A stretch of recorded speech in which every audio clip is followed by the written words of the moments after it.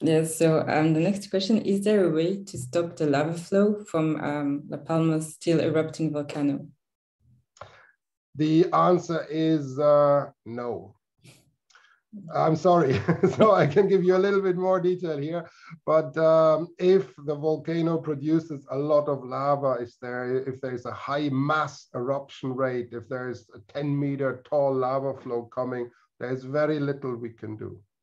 There is attempts to stop lava in front of a certain building. If the lava is already slowing down and it's just a few meters from a church or so, then there may be something you can do. You can dig a ditch or you can bring in the fire brigade and cool the lava with water or something like that. Uh, but this is an exceptional situation. It worked um, in Iceland in 73 at the Heimaey eruption, and that got quite famous. People were putting water on the lava flow and it stopped. But let's be realistic. The lava flow was about to stop by itself. You can just halt the last few meters, if you will. And there was this case at Todoque Church. Todoque is a little village, and it had this beautiful church built by the local people, voluntary uh, work that built the church.